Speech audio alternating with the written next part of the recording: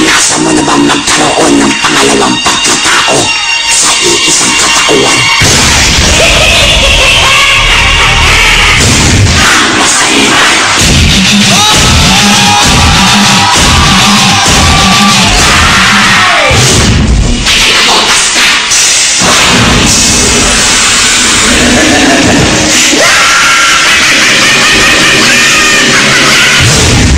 Nandito kami!